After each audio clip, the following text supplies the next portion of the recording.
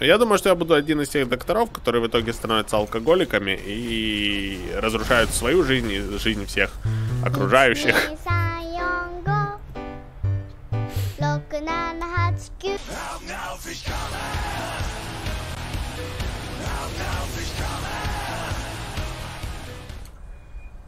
Чеси аукс и баукс.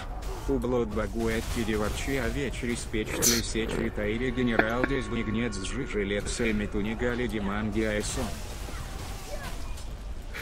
А, Жорж, спасибо тебе огромное за, за 50 сердечком. Спасибо тебе огромнейшее. Чувак, слушайте, Жорж, у тебя там, я надеюсь, у тебя все нормально. Я надеюсь, что ты там не лежишь в больнице с переломом ноги неделю уже, и ты не под жесткими таблетками, что ты там не под морфином. Э, Ну, что у тебя там мозг не замутнен, и ты не отправляешь все эти донаты, потому что ты под кайфом. Сестра, заберите у него телефон, пожалуйста. Сестра! Я надеюсь, что у тебя все нормально, чувак. Что ты в полном сознании и у тебя все, все хорошо. Очень надеюсь. Эм. Ну, я очень благодарен. Спасибо тебе огромное. Это твои донаты, это большая помощь на последних стримах. Просто огромная. Я, я не, ну, мне, я не могу это словами выразить полноценно, потому что то, какие ты донаты делаешь, и оно не поддается как бы выражению благодарности. Я, я просто не могу адекватно э, благодарность выразить. Поэтому, ну, поверь мне на слово, что я очень, очень, очень благодарен. Эй, эй, эй, эй, вы чё? Блин, вот о чем я говорю. У нас выживаемости писец не хватает. То есть какая-то коза из портала на меня прыгнула, и все, и мы, мы сливаемся почти полностью. Надо с выживаемостью что-то делать. Я не знаю, может нужен лайф лич какой-то вставить или что-то такое. Э, я не представляю, как мы будем жить на картах. И даже на Китаве. О, на какой Китаве? На... Мы на Малахае будем сливаться только в путь.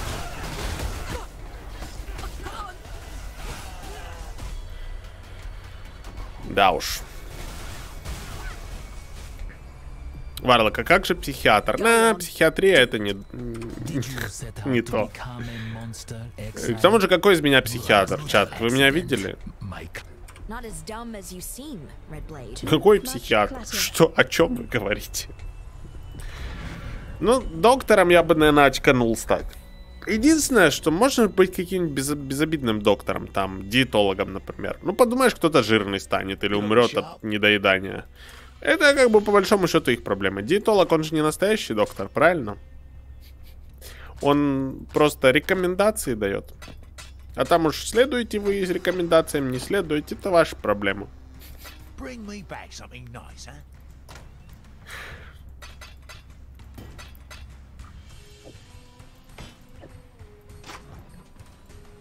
Программист это вот мне как-то все-таки ближе, наверное.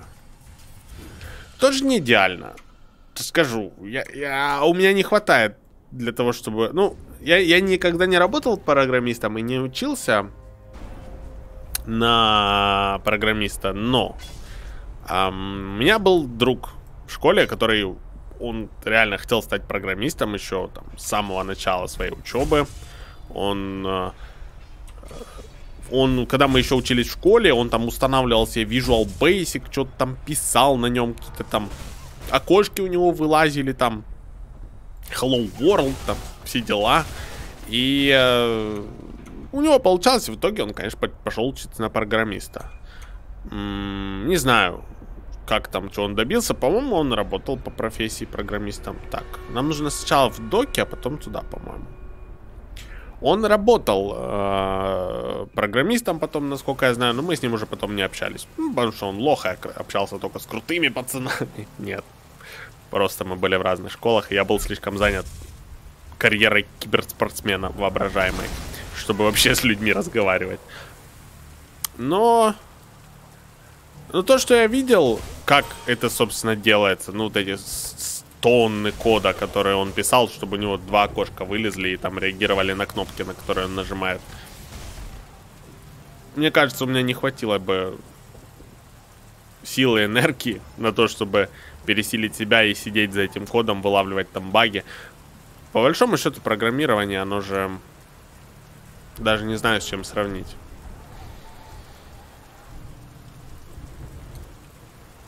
Не знаю, наверное, оно просто само по себе. Это как, это как язык, я так понимаю. Ты на нем пишешь, компьютер тебя либо слушается, либо не слушается, что-то такое. Сейчас меня в чате, наверное, за этот, залошат.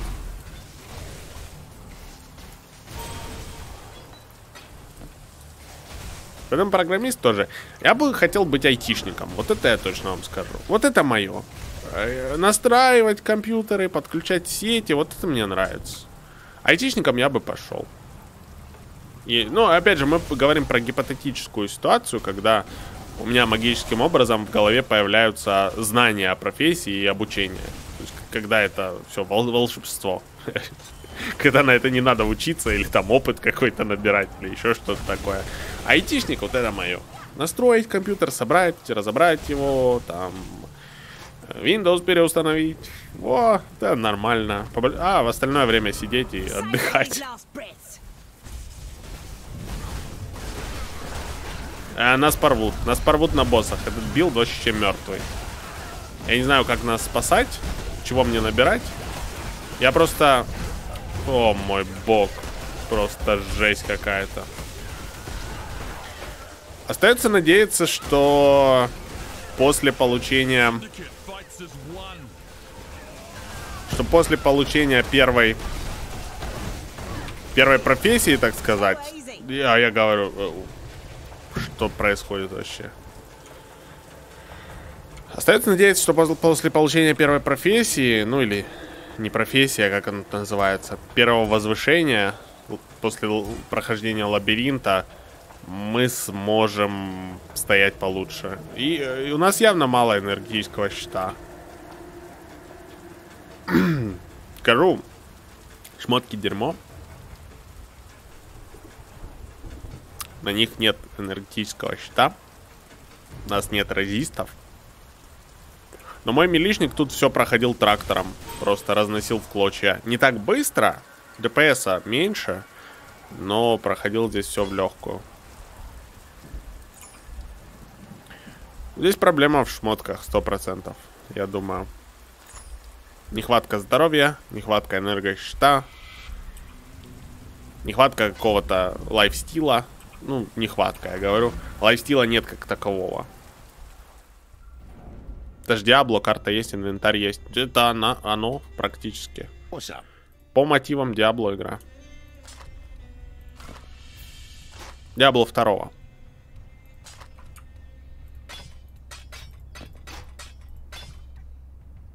Нам нужен щит. Нам нужен щит, который нам дает энергетический щит. Я говорю о чем-нибудь типа вот этого.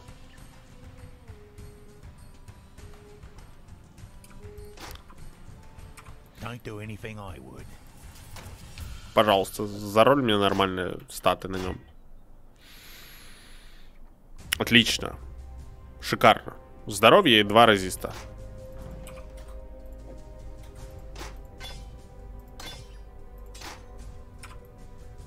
Что нам еще можно заролить? Здесь нормально. Hello.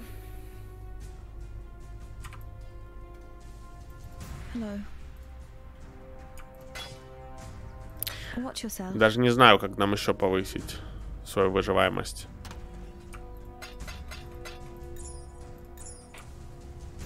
Главный вопрос, чем?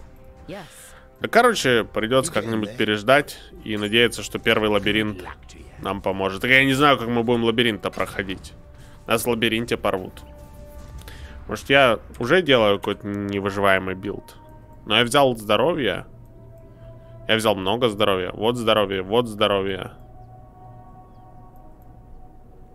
Вот щит. Здесь просто мана.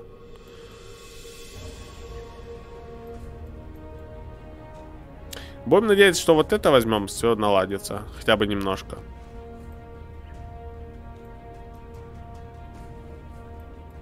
6789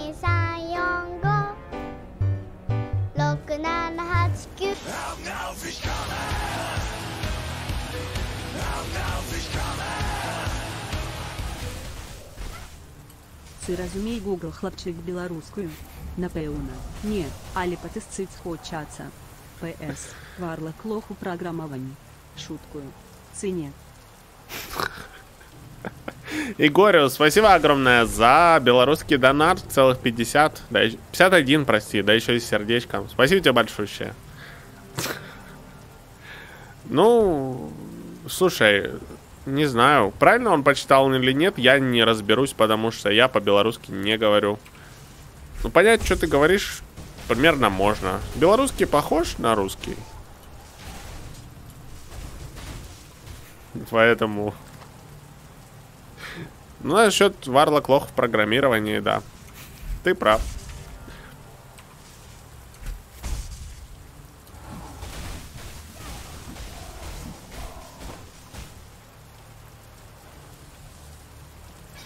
Уже две минуты видео на урок сделано. То есть ты на... У тебя задание сделать какое-то видео на урок? А ты, наверное, решил, что будет проще всего посмотреть мой стрим, сделать клип на Твиче и потом учителю показать. Правильно. Я согласен. Если у тебя урок по философии, ты можешь, в принципе, любое мое видео брать и э, прям целиком учителю скидывать. Мария Сергеевна, посмотрите. Вот, вот, это мое задание. Это я. Я, я варлок в интернете. Знаешь что, я тебе даю свое разрешение. Ты можешь, свои, ты можешь сдавать любые задания по видео урокам через мой канал. Говори, что ты варлок. Кто там, господи, проверит? А то, что внешне не похож, так ты не показывай видео, где камера включена, и все. Проблема решена. Я помню, в универе у нас было задание на видео, на видео. Общем, это было... Чего, какой предмет был? А, была ре- реклама, предмет. Ну, типа, как правильно создавать рекламу. И было задание сделать рекламу какую-нибудь, любую. Ну, что придумаешь? Ну, я очень хорошо запомнил. Мы сделали, мы сделали рекламу типа политической партии, э, там, которая будет бороться с безработицей. Ну, такую прикольную, там в черно-белых тонах сняли, и там, там про безработицу знакомых девчонок сняли, как они там не могут денег набрать, чтобы купить себе в киоске пожрать, типа. Ну, на самом деле, конечно, у них на спайс просто не хватает.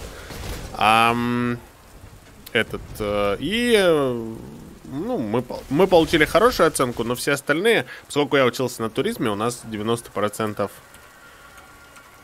других учащихся это были девчонки. Там мы с чуваком... вдво- Нас трое пацанов было. Нет, четверо. Нет, пятеро. Пятеро пацанов было, по-моему, в... По-моему, пятеро. Они там туда то уходили, то приходили, то на другие факультеты переходили. Но изначально нас было пятеро. И эту рекламу мы втроем делали, типа проект на троих. Если вы понимаете, о чем я. И э, реклама, в принципе, у нас нормальная получилась. Ну так, если самому себя оценивать. И оценку мы получили хорошую. Но другие рекламы, которые там были, это жесть. Храните свою любовь.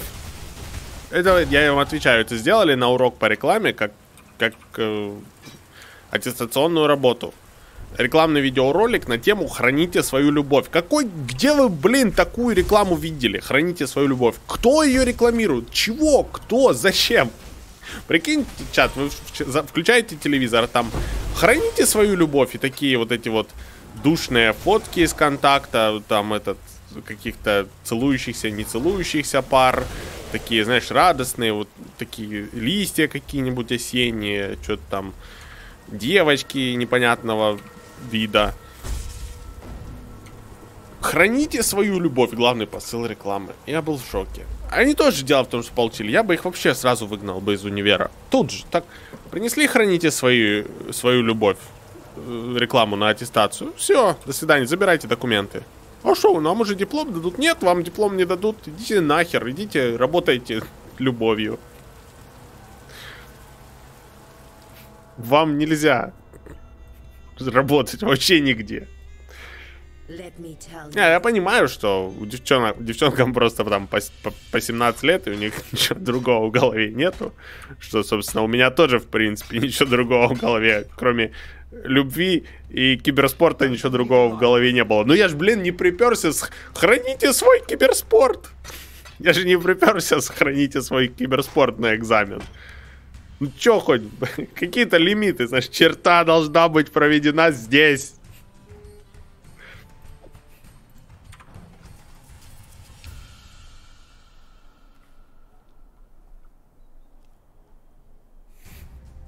Чар- чат живет своей жизнью, Варлок своей. Да вы меня спровоцировали про это говорить. Я не помню чем, но спровоцировали. Так, 15 энергетического щита. Йоу, вот сейчас мы вот эти штуки возьмем, и тут будет норма энергетический щит. А потом мы пойдем на грозовые удары. А потом...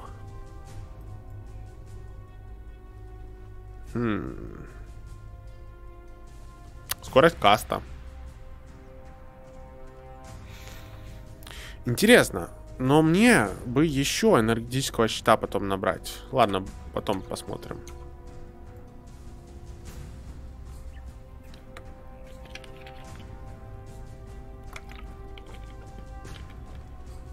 Да нас нет, ты забыл, вы заб- ты забыл, что мы воображение Варлока? Чат, точно. Может, вы не настоящие вообще. Откуда я знаю?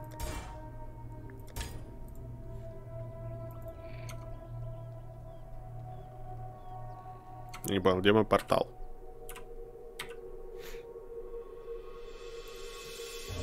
А, портал нам не нужен. Нам нужно вот сюда, а потом сюда.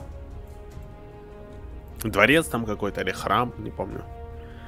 До- на доктора слишком долго учиться, сказал человек. Месть, которую он выбрал из-за кентов и гамал сталкера без смертей во время учебы. Да. Что типа того. Э, Я в натуре играл. Я не знаю, может ты про себя, конечно, но если ты про себя, то мы с тобой вместе играли в сталкера. Без смертей во время учебы.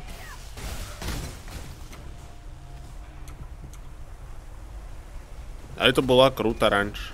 Сейчас, да, в принципе, мне идея без смертей играть мне нравится очень. Но игр, которые под это подходят, я встречал мало. Наверное, больше всего в натуре подходит Сталкер. Я несколько раз пробовал, один раз пробовал даже на ютубе. Очень старые, старые видосы есть у меня. Ну, очень старые. Двухлетней давности. У меня есть в натуре серия без смертей. Сталкер Зов Припяти. А первого сталкера я почти прошел. эм, без смертей. Ну, когда еще не ютубом не занимался, это было очень давно. Да что... Это еще в Запорожье жил. То есть это 10 лет назад было. Больше 10 лет назад. Я практически прошел первого сталкера без смертей.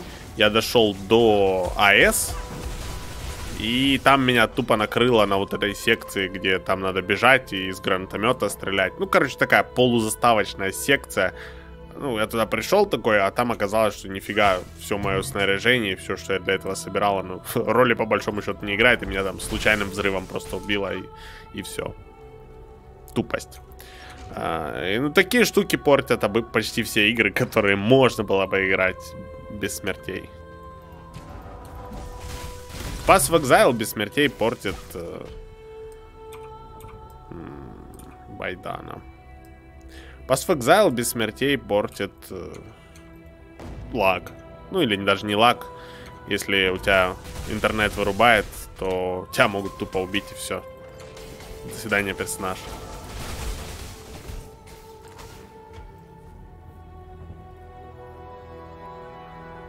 Принц of Персия внесерийный лучше подходит. Куда не, не грохнешься, напарница вытащит. Ну, понятно, что есть игры, которые... эм, в которых смерть как таковая там, ну, либо яв- является игровой механикой, либо либо не существует в принципе, но я же не об этом. Я, я об играх, которые изначально задумываются как игры с загрузками, но которые можно пройти без загрузки. Очень хорошо заходит Готика. Наверное, и первая, и вторая, но я пробовал только вторую. Вторая шикарна, без смертей. Ее можно играть, ее можно пройти. Я это сделал. Э, и чё, вот это весь... Вот это ваш караван, да? Он прошел 3 метра и зашел в портал. Зашибись. Готика вторая подходит для игры без загрузок, без смертей. Я ее прошел без смертей. Одна из моих любимых РПГ в принципе. Но... Без смертей она тоже играется очень классно. Там практически нет таких моментов, что тебя запихивают в какой-то нереальный бой. Это первое. А, нету таких вот как заставочных боев или чего, или каких-то боев, где не решает твое снаряжение, твоя подготовка, твой скилл. Там во всех боях это решает. И там, соответственно, умереть в заставке или что-то такое нельзя. Ну, не знаю, как насчет первого прохождения ее. Все-таки исследовать неизвестные какие-нибудь пещеры и леса там будет сложно без... Эм, без эм, смертей, потому что не от всех противников можно легко убежать. Вот это точно. Э, некоторые противники там быстрее тебя, а многие противники там просто такие, что... Ну, ты никак не можешь внешне по ним определить, что они будут наносить очень много дамага. Рапторы, например, те же. Они выглядят как велоцирапторы, что принципе, выглядит опасно, и надо бы подумать, что они тебя могут сожрать, но они наносят намного больше урона, чем может показаться по их внешнему виду. Ну и там несколько таких моментов, где ну, нужна подготовка.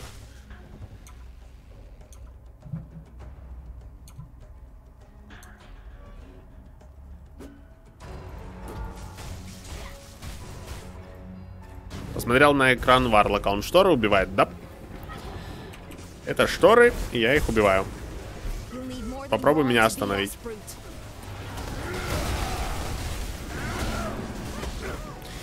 Хилок кузнец. До свидания.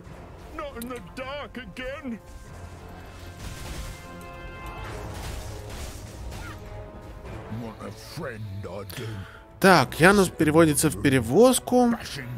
Нам пофиг на то, куда Ян, Янус переводится. Хотя, знаешь что, Хилока надо было не допрашивать. Э, нам вот что важно. Нам важно, чтобы когда мы раскроем секретную локацию, чтобы вот тут был чувак с большим рангом. Чтобы чувак хотя бы со вторым или с третьим рангом перешел во, во владельца локации. Это такая механика, которую долго объяснять, но я это методом пробы и ошибок выяснил. Мы очень хотим, чтобы там был чувак с большим рангом. Там намного круче награды.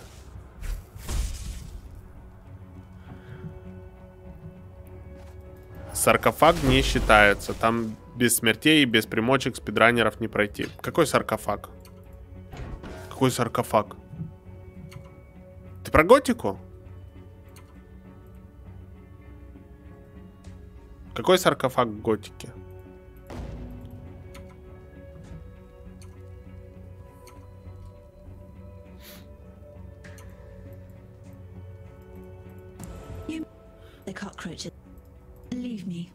Так, раз. И ты мне еще дать должна. Про сталкера. А, да. Ну, саркофаг это вот как раз финал. Да, я... Потому что я сталкера это было мое первое полное прохождение. Я не, не знал, что там будет в конце. Мы э, хотим либо силу даже, либо ловкость, а не интеллект. Goodbye. Мана. Здоровье немножко. Э, трэш.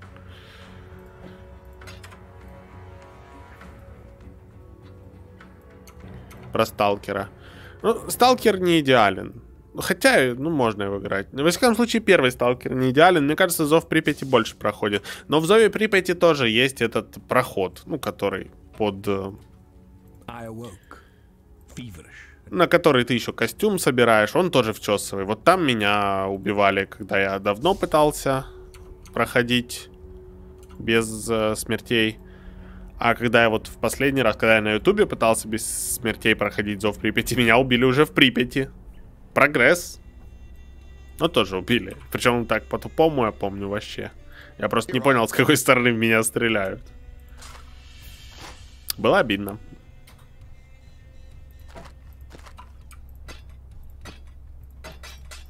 Слушай, а, по-моему, мы взяли вот эту одну штучку на энергетические щиты, и у нас сразу уже получше стало с выживанием. Вообще. Красота и сфера хаоса в, на- в награду. На какую концовку вышел, не помнишь? Деньги тогда. Нет, я, я так Сталкер первый до конца и не прошел. Я смотрел, я доходил до самого-самого финала, до АЭС. Так и не прошел. Ну, я смотрел потом концовку. И, нет, дело в том, что я читал э, этого. я читал оригинал. Пикник на обочине. Поэтому я знаю, что там ничего заказывать нельзя, кроме того, чтобы там уничтожить этот э, исполнитель желаний или что-то что такое, потому что он всех разводит все время. Я умею на ютубе проходить игры без смертей. Ну да, типа, такой, ой, Сто процентов нас вчера не убили в прошлой серии. Поверьте мне, дорогие зрители, я вам гарантирую, что нас не убивали, и это моя первая попытка. Ты бы мог тогда пройти, если бы ты не запаниковал, у тебя было сраных 40 аптечек. Ты это помнишь? Как? Почему? Я этого не помню. Я вообще практически не помню, что там было. Я помню, что я тупо запаниковал. Я не понял, с какой стороны в меня стреляли. А стреляли в итоге откуда-то сверху. И там, когда ты в Припять приходишь, идешь на сделку с кем-то там, со спецназовцами, на вас засаду делают.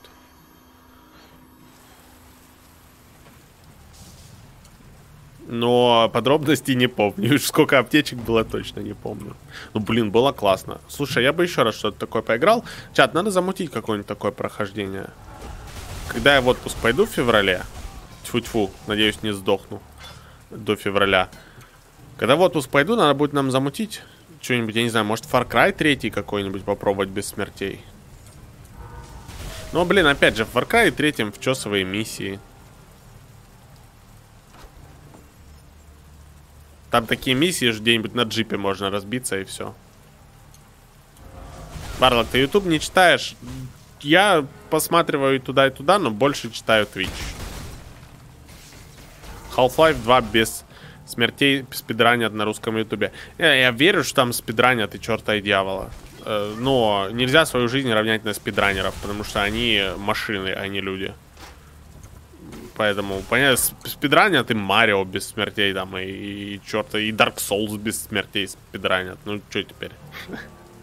И если я буду равняться на чуваков, которые Dark Souls спидранят без смертей, то мне лучше в Dark Souls не играть. Не то, чтобы я буду в него играть.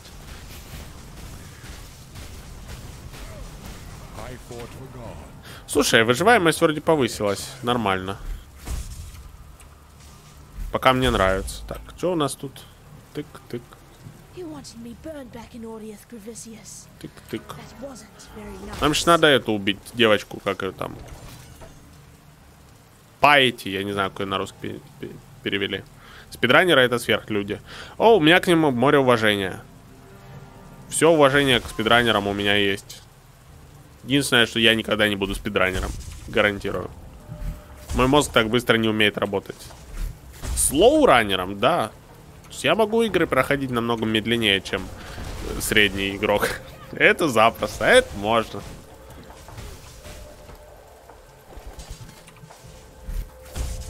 Спидранеры это по-любому китайцы. Так нет, посмотри какой-нибудь HDQ. Ну, типа Awesome Games Done Quick. Там в основном европейцы и американцы играют. Там азиатов практически нету.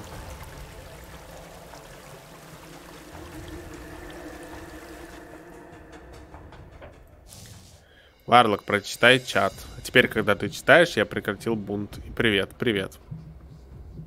Привет, Михай. Мишайка, привет. Спасибо за службу. Надеюсь, вам понравился этот забег. Если это так, то нажимайте на кнопку лайк, это будет огромная помощь. Хотите смотреть еще, конечно, подписывайтесь и нажимайте на колокольчик. Ну а я благодарю вас за то, что вы смотрели это видео и увижусь обязательно с вами в следующий раз.